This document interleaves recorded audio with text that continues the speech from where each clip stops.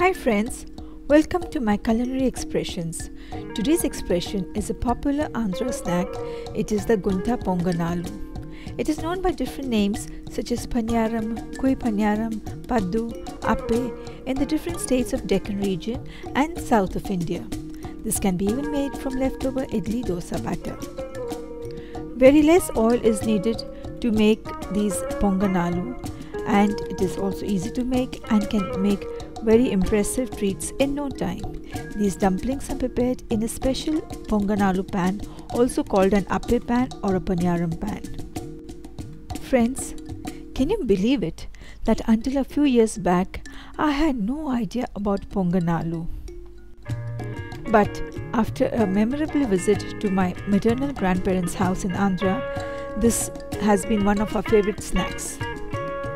Before we proceed to make Gunta Ponganalu, let me remind my dear friends who are visiting this channel for the first time if you would like to receive these expressions with tips and options, then hit the subscription button right away and press the bell icon to receive notifications. All my other dear friends, do continue to show your support and zeal by your likes, shares, and comments. And now, let's get started. Let's have a look at the ingredients to make Gunta Ponganalu. We need 2 cups of idli dosa batter. You could make the batter at home and ferment it or you could buy from the market. Then we need 1 teaspoon of chopped ginger garlic. This is entirely optional. Half cup of chopped onions, a few curry leaves that are chopped, 1 teaspoon each of chana dal and urad dal soaked or you could even saute it directly into the oil. Then the vegetables that we need are 1 4th cup of chopped french beans, 1 4th cup chopped carrots and 1 4th cup chopped capsicum.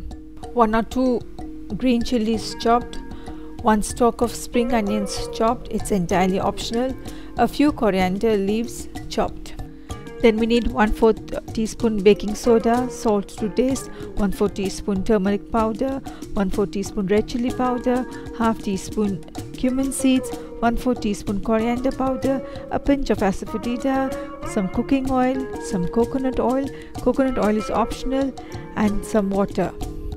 I would recommend you to mix a little bit of coconut oil into the regular cooking oil while sorting the vegetables or making the ponganalu. Feel free to adjust the amount of spices and ingredients according to your preference. To start with, first we will saute the vegetables. We'll heat 2 to 3 tablespoons of cooking oil and then add the cumin seeds and saute them. Thereafter add the chopped curry leaves and green chilies and saute them well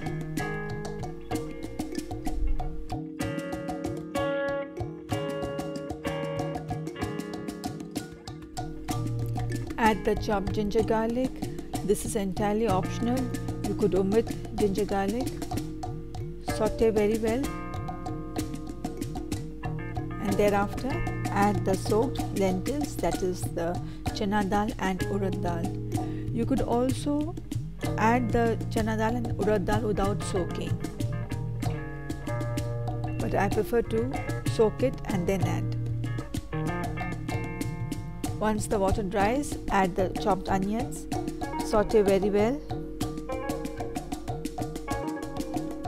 Then add the chopped French beans, carrots and capsicum.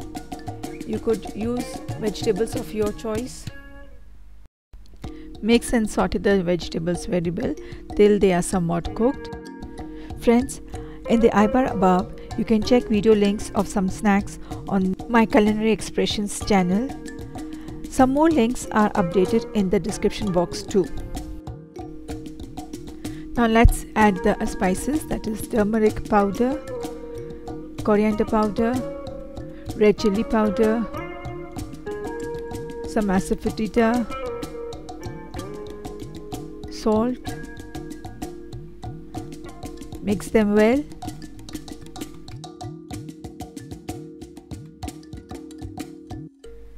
and lastly add the chopped spring onions and uh, chopped coriander leaves give a final mix and your vegetables are ready you can put off the flame Keep aside the vegetables to cool.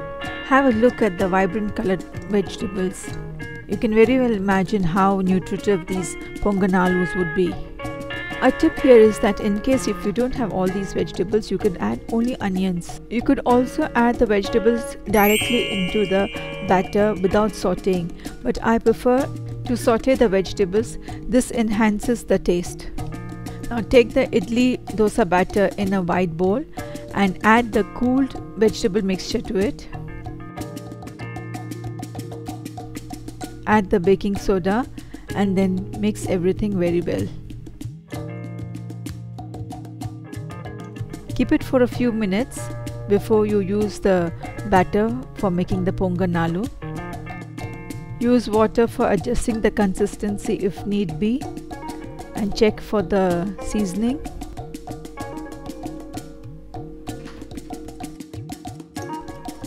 Let the batter rest for some time, around 5 to 10 minutes.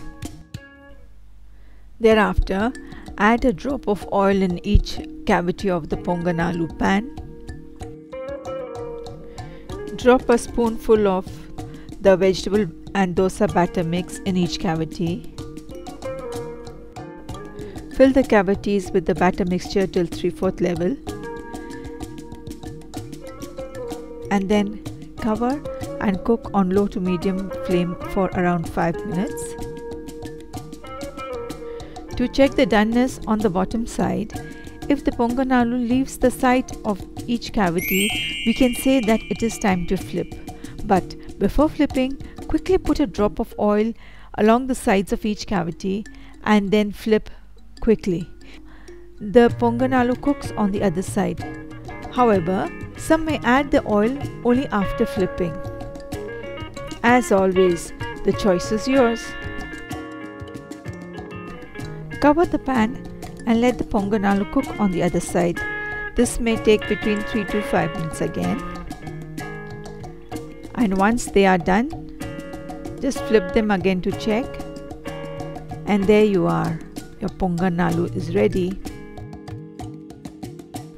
Switch off the flame. Now transfer all the pongan into a bowl and have them hot with a chutney such as the coconut chutney or the tomato onion chutney. Gunta pongan aloo are somewhat crisp from outside and soft and spongy from inside and they are full of nutrients. Friends, make these ponganalu and enjoy with your friends and family. And now my dear friends, I hope you enjoyed this expression. Thanks for watching.